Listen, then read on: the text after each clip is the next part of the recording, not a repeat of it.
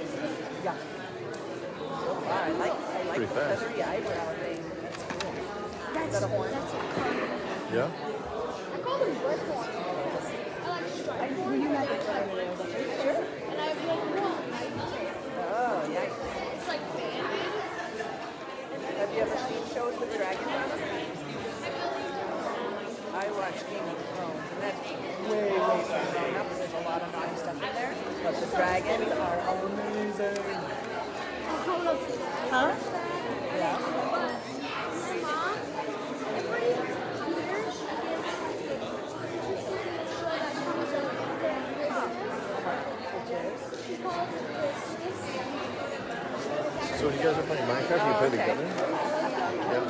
Yeah. That's crazy cool. I know. I love the windmill. So I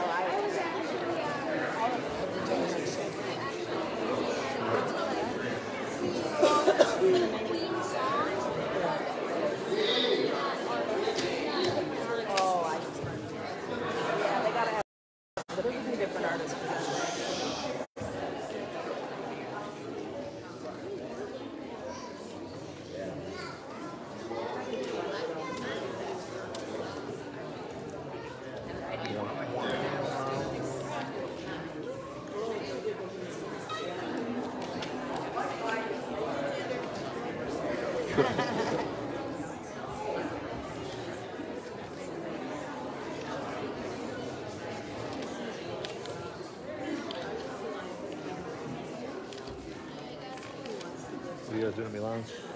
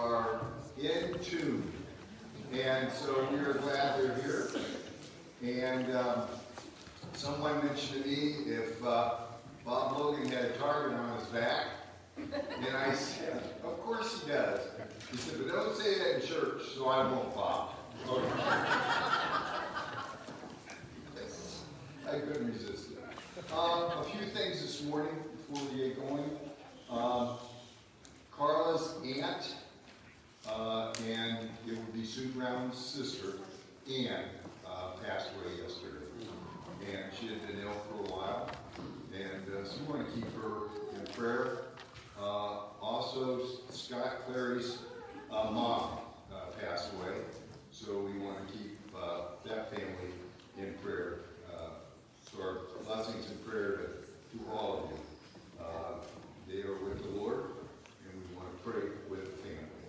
So let us begin giving thanks and praise. Let's just take a few minutes. Oh, also today uh, is uh, our uh, Children's Sunday, and we have once a month.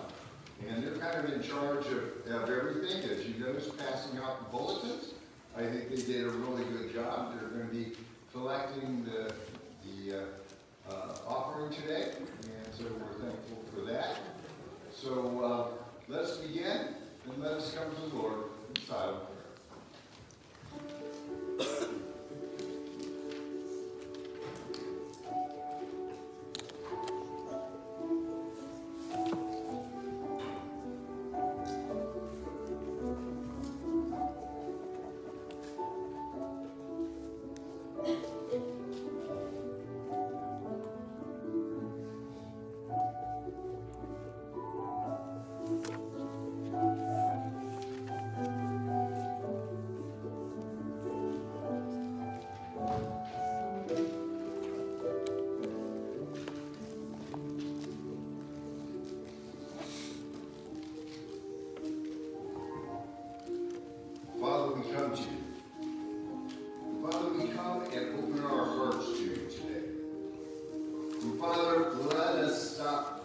Control and let you be in control of our lives.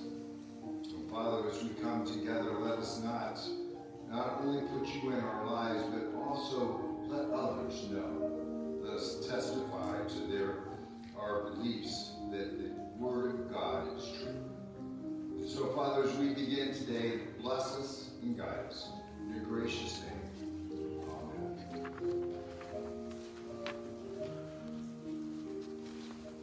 Well, in your bulletins today, you will find the call to worship. If you please follow along. Make a joyful noise unto the Lord,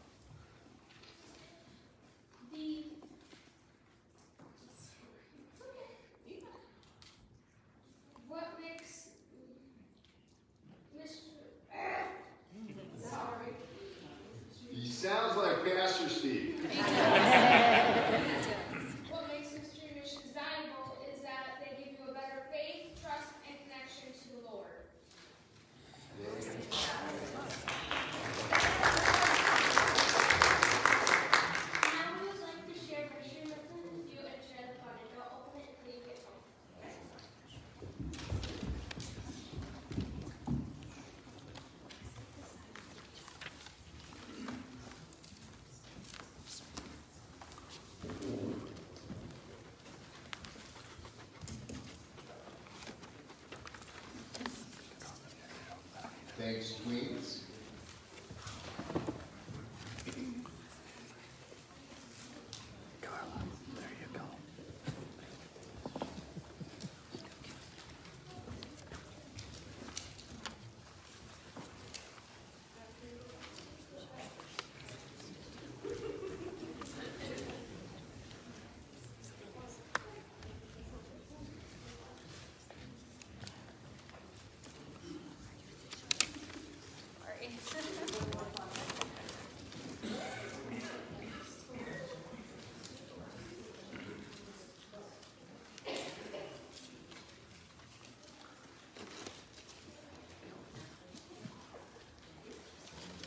No, no, no.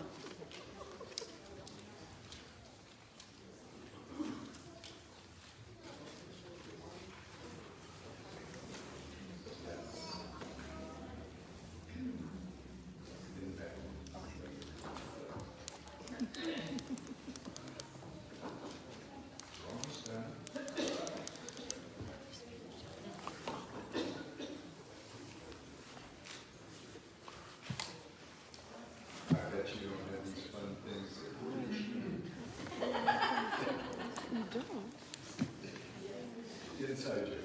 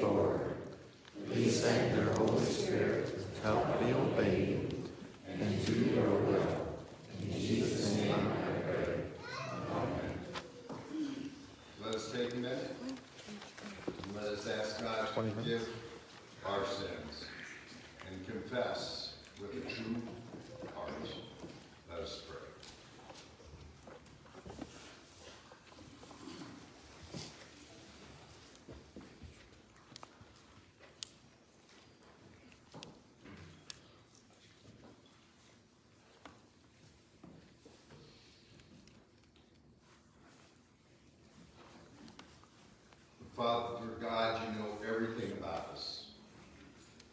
And Father, we come to you, but yet you want us to confess our sins to you. And Father, we are truly sorry for what we have done. And we ask the Holy Spirit to guide us and to strengthen us in our faith. This day and every day, and we are truly sorry the sins we have committed. In Jesus' name, those sins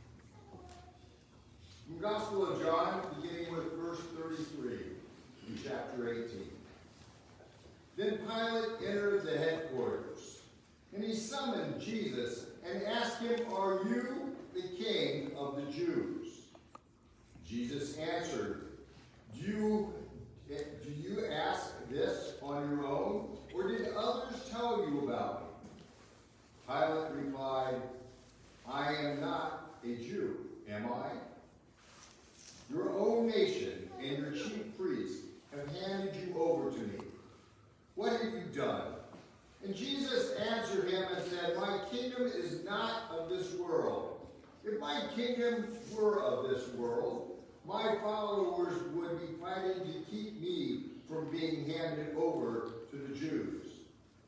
But as it is, my kingdom is not from here. Then Pilate asked him, So you are a king? And Jesus answered, You say that I am a king. For this reason I was born, and for this I came into the world, to testify to the truth. Everyone who belongs to the truth listens to my voice. So ends the reading of God's gracious and holy word. They asked Jesus, are you the king of the Jews? And Jesus answered them, you say that I am the king. One of the things we have to ask each other and ask ourselves, do we know that Jesus and do we testify to the truth? What's the definition of testifying? The definition of testifying is giving evidence. And B, it's giving evidence of the truth. That's what testifying is. And one of the things we have to realize are we testifying in Jesus Christ's name? Are we testifying to the truth? Do we see him as a king? Do we see him as God? Do we see him as Lord?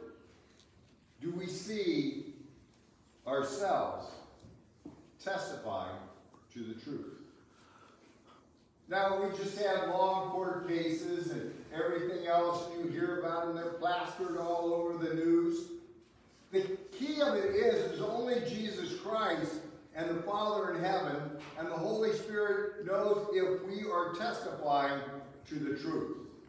And we know from the very beginning, the Father is the truth. He made the heavens.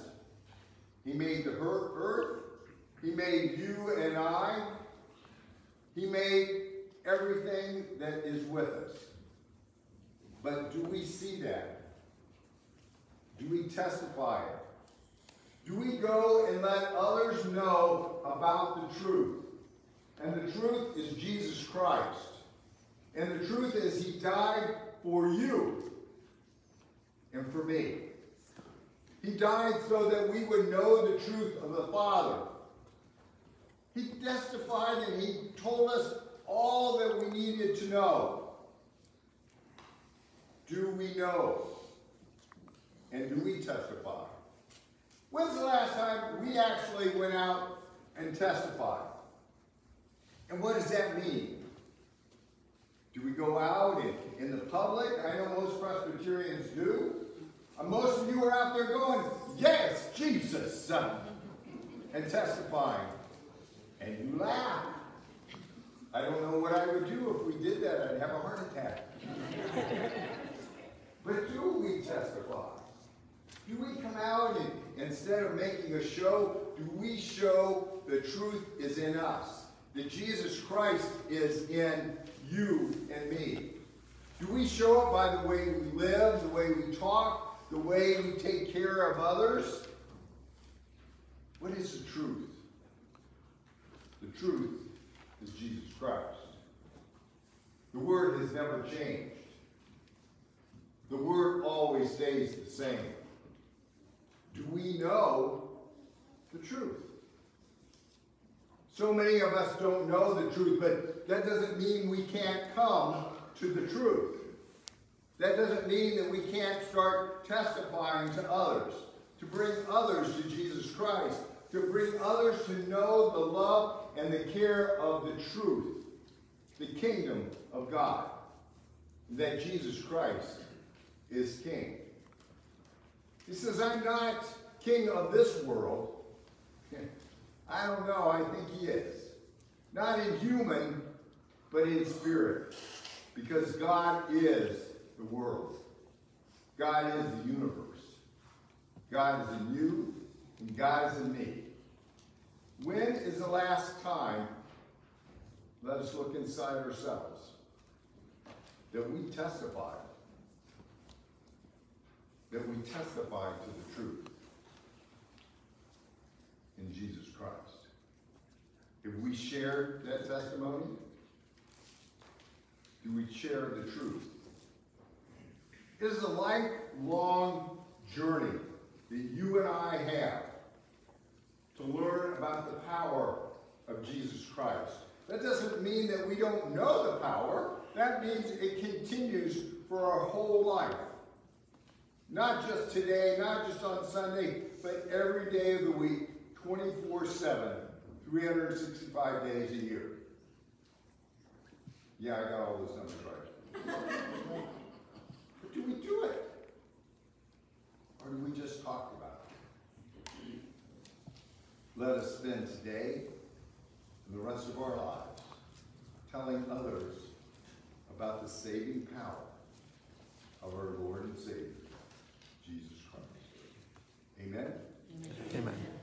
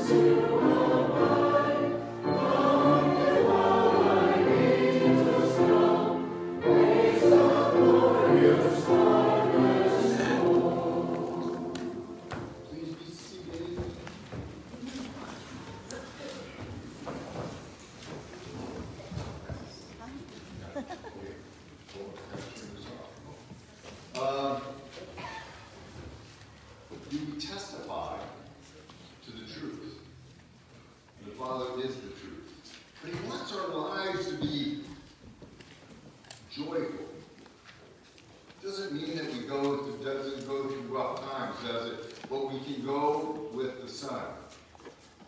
We can go and gather around each other to help us get through the hard times. But we should be thankful for what we have. And we should thank God that He is there for us during the good and, yes, during the bad. Let us pray.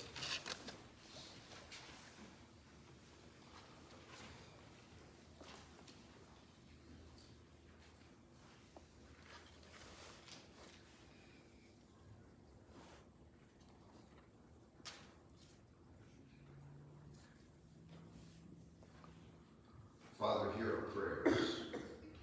We come to you, Lord, and put ourselves in your hands. But Father, let us come and, and worship you. Let us be thankful for all we have. Well, Father, we come and we ask special prayers for the Scott Clary family and be with them in the passing of their mother. We ask you to be with Sue Brown's family, Father, on the passing of her sister. Be with them and comfort them. We ask you to continue to put your healing hand upon Normaline and Michelle Noble. We ask you to be with Mitzi, Father, and continue to bless her and be with her. We ask you to be with Lisa Bates' brother. We ask you to be with Diane Hickey and Sue Crosley's sister. We ask you to continue to be with Donna Smith's daughter, Father, and bless her and be with her. As we come together as a family of God, our Father, art in heaven, hallowed be thy name. Thy kingdom come, thy will be done, on earth as it is in heaven. Give us this day our daily bread, and forgive us our debts, as we forgive our debtors. And lead us not into temptation, but deliver us from evil. For thine is the kingdom, and the power, and the glory forever. Amen. Well, as we come before our Lord today, let us come and make our offerings to Him. And not just the offerings of our leftovers, but the offerings from our heart. As the youth come today, let us give of ourselves as God gave His Son, Jesus Christ,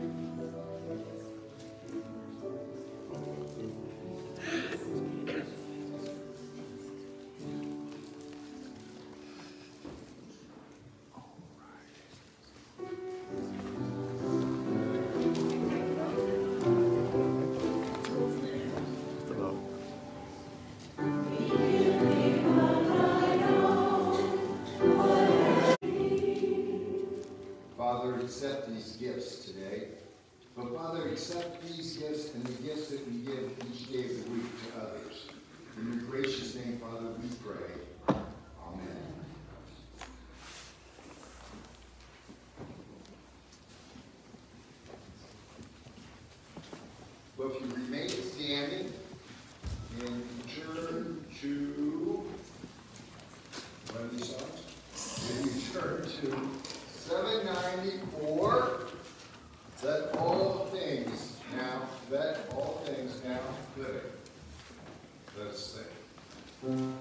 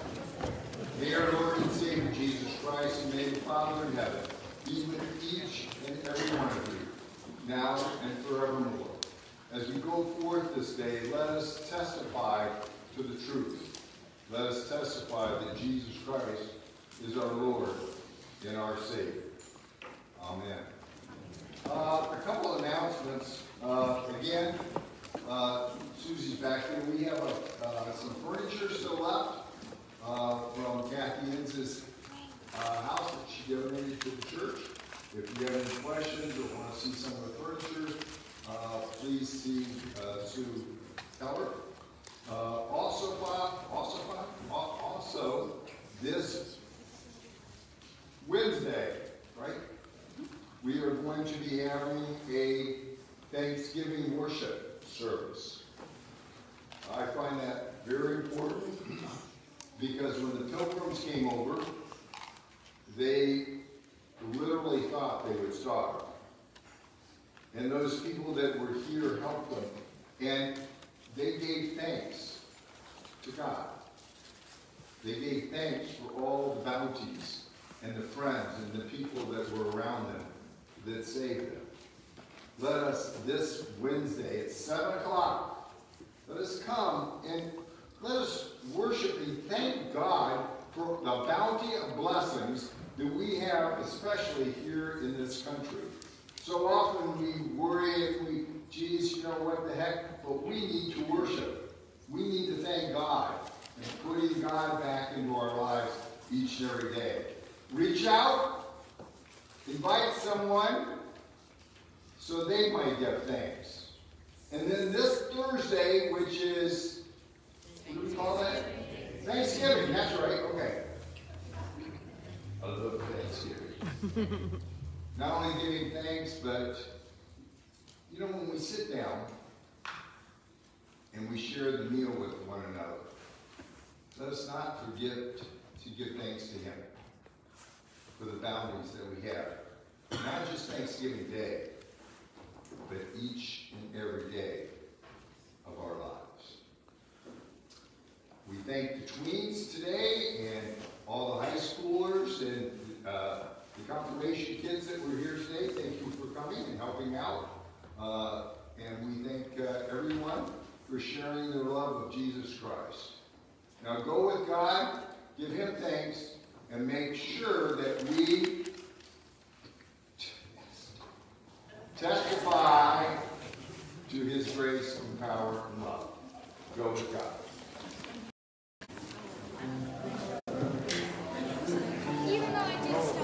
Going to Milan's? Oh.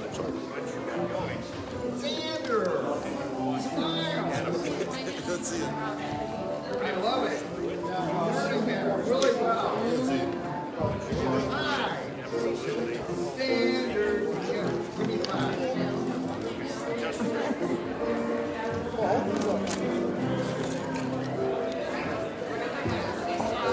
I don't know.